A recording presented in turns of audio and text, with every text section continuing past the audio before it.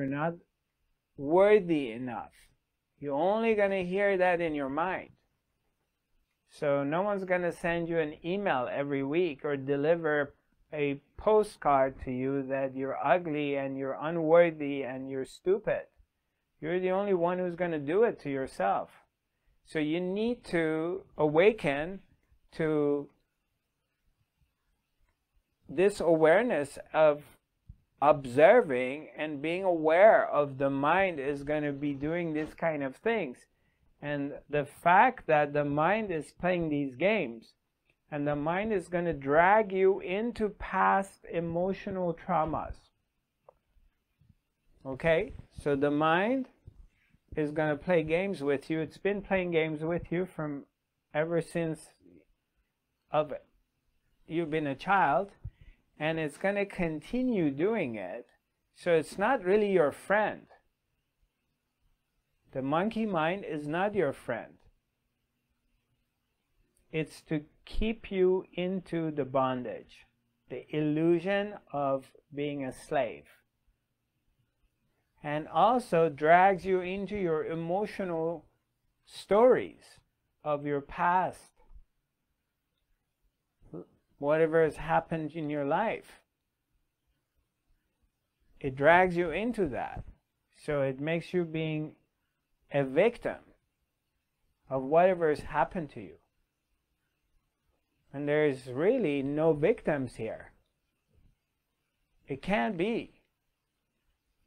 Because there's no separation. There's no others for, for you to be a victim because nobody else was there to victimize you. All of it was what aspects of yourself. So we come into this deal in this life and we're born into this.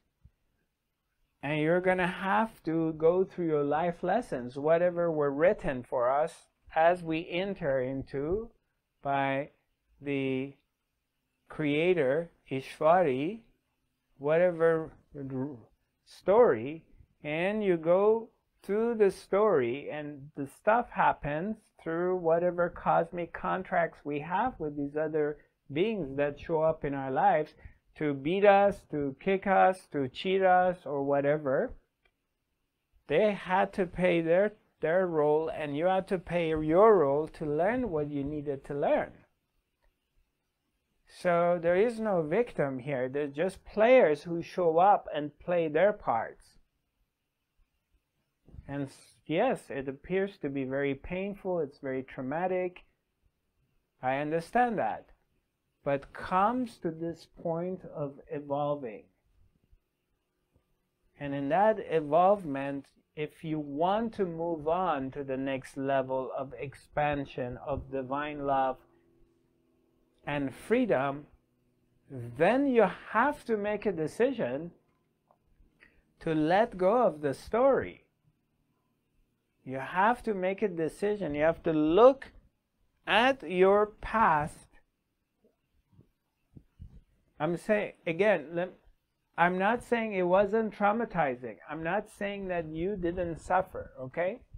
I know, but this point you need to look at it and not superficially say, I'm going to let go of my past and, oh, I'm going to be in present moment. No, I'm not talking about that is an inner determination of the commitment to freedom is that the recognition of for me to dive into the divine presence and the oneness to the love I cannot drag this garbage bag of my past with me to dive into this pure lake to this beautiful waterfall.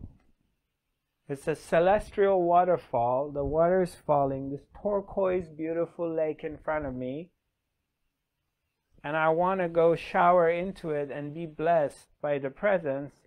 And you're carrying this toxic, filthy garbage bag with you. You can't take that. Existence doesn't allow you to take this bag into that waterfall. You have to leave it. At one point, you're going to have to decide on doing that. Say, okay, you know what? I'm going to disconnect from it. Yes, the lessons I've learned, I don't need to make the same mistakes again. But I also don't need to carry this stuff with me any longer. So you know what? I don't need to talk about it. I don't need to bring it up.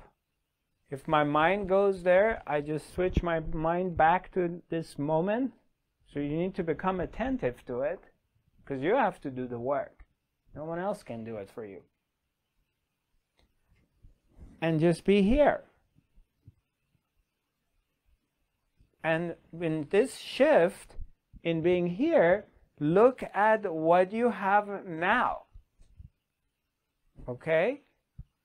What most of you do is you're constantly going to your past and you're bringing your daddy issue, your mommy issue, your abandonment issues. You're constantly going to those stories and it creates suffering. And so then you're missing out what's here. So you're screwed in two places. You were screwed in your childhood, and now you're getting screwed now.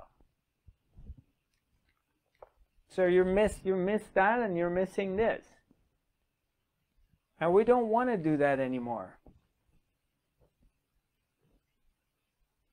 At least I, I'm not going to let my students in the life training program that I have, or if you come to my workshop, if I have you to myself for three, four months, I won't let you go there. I'll just bring you back, no matter what it is, to keep you to refamiliar yourself, to recognize of what is here, of the vastness, of the richness of this moment.